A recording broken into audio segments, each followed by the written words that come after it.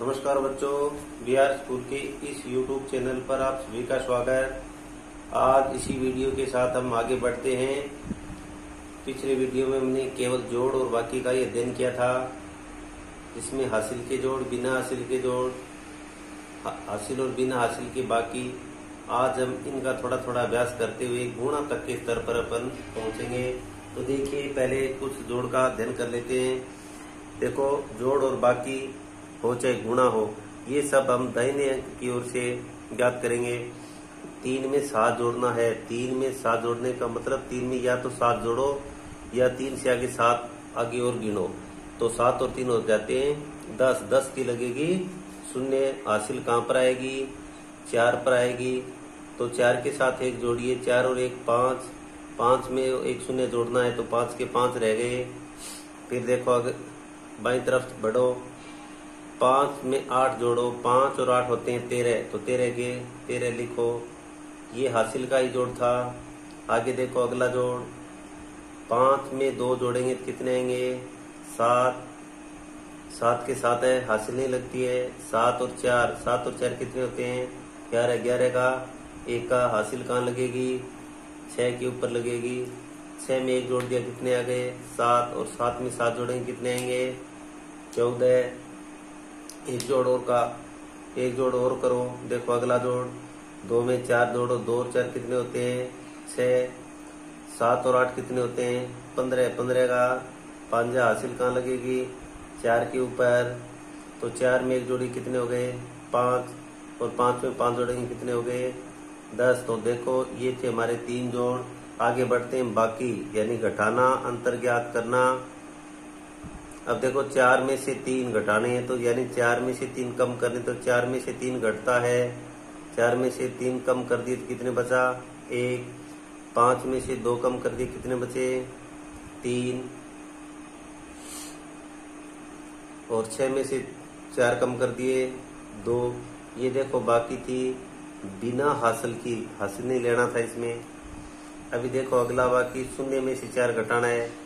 बताओ शून्य में से चार घटते हैं क्या? नहीं घटते। तो शून्य क्या करेगा? आठ से अस्सी लेगा। शून्य ने आठ से अस्सी लिया तो शून्य के पास कितने हो गए? दस। तो आठ के पास अब कितने बचे? सात बचे। तो अब घटाइए। दस में से चार गए। छ अब सात में से चार गए। तीन। सात में से एक गया। छः ये देखो हासिल वाला बाकी था। आगे एक बाकी और करेंगे। दो में छह घटाते हैं। देखो छोटी संख्या में से बड़ी संख्या कभी नहीं घटती। इसीलिए हम अपने बाई ओर के अंक से हासिल लेंगे। तो दो ने नौ से हासिल लिया। तो दो के पास कितने हो गए? बारह। और नौ के पास कितने बचे? आठ। तो देखो, बारह में से छह गए। छह। आठ में से पाँच गए। तीन। और आठ में से दो गए। छ ये कुछ जोड़ और बाकी थे। आज हम एक एक संख्याओं का गुणा करेंगे।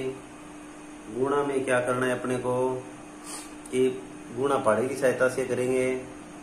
देखो, ऊपर संख्या है, छक्के तीय तिरसठ, छह और तीन है। इसको गुणा किसे करना है? दो से। का मतलब है कि दो का पाड़ा अपने को तीन बार पढ़ना है। दो का पाड़ा कितनी बार पढ़ना है? तीन बार पढ़ो दो एकम दो दो दूनी, चार, दो तिया, छह। दो का पढ़ा हमने तीन बार पढ़ा, कितना आया? छह आए, छह के छह लिख दिए। फिर देखो, आगे अपने को दो का पाड़ा कितनी बार पढ़ना है? दो का पाड़ा छह बार पढ़ना है तो दो छक्के बारह, दो छक्के बारह बारह के बारह। ये था एक संख्या का गुणा। अब देखो, ऊपर संख्या लिखी हुई है, सात, चौके, चौहत्तर।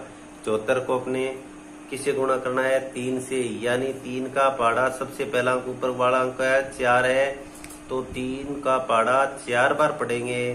तो तीन एकम, तीन तीन दूनी छह, तीन तिया न, तीन चौके बारह। बारह का दौआ हासिल एक, ये कहा लगेगी? ये सात के ऊपर लगेगी। अब आगे देखो, फिर तीन का पाड़ा कितनी बार पढ़ना है? तीन का पाड़ा सात बार पढ़ना है तो तीन साते इक्कीस। और एक हासिल वाड़ा जोड़ दिया तो कितने हो गए? बाईस। तीन सात इक्कीस और एक बाईस। ये गुणा है हमारा। अगली संख्या देखो। चार से यानी ऊपर संख्या लिखी हुई है पिचासी। पिचासी को चार से गुणा करना है यानी इस पर, इस गुणा में चार का पाड़ा काम में आएगा। तो चार का पाड़ा पहली बार कितनी बार पढ़ना है? पाँच बार। चार पंजे बीस की शून्य हासिल है। दो ये कहाँ लगेगी? आठ के ऊपर। अब देखो, चार का पाड़ा कितना पढ़ना है? आठ बार। चार का पाड़ा आठ बार, बोले चार आठे बत्तीस। और बत्तीस में जोड़ेंगे क्या? दो। बत्तीस और दो कितने होते हैं? चौतीस। बत्तीस और दो कितने होते हैं? चौतीस। तो देखो बच्चों, आज हमने जोड़, बाकी और गुणा का अभ्यास किया। आप भी इसी तरह से अपनी इच्छा से कोई भी संख्या लिख लें जिसका जोड़ भी करना हो, बाकी और गुणा। इनका आप लगातार अध्ययन करते रहें, अभ्यास और अध्ययन से जुड़ते रहें। अगली वीडियो के इंतज़ार तक, जय हिंद, जय भारत।